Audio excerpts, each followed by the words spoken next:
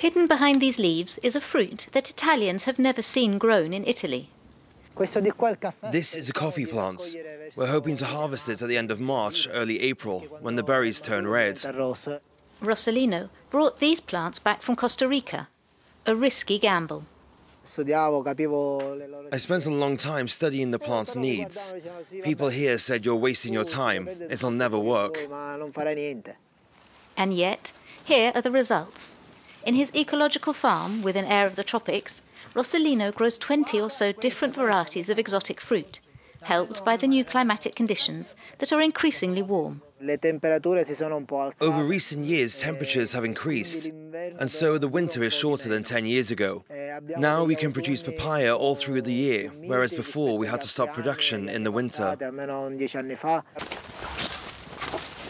Last year, Rossellino produced 35,000 kilos of exotic fruit, and he's not the only one.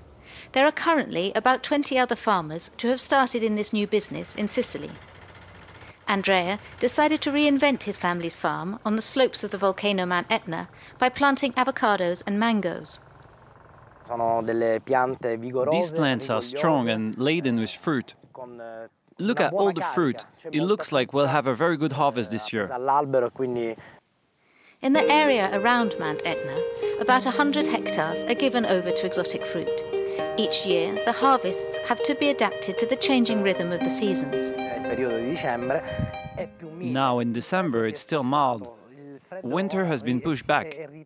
Now the cold comes later, no longer in December but in February, and it only lasts a couple of weeks. In the last three years, the production of exotic fruit has tripled in Italy, and next year could see the production rise to 900,000 kilos like mangoes, bananas or passion fruit, and a substantial part of this production will be for export.